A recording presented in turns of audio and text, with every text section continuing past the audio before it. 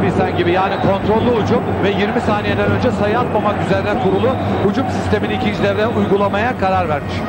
Evet Pete Williams, Lütfü Arıboğan, kaptan Lütfü, Orhun Ene. Üçlü sıkıştırma pota altı Key ve çok güzel bir asist geliyor. Clarence Key'nin bu basketinde.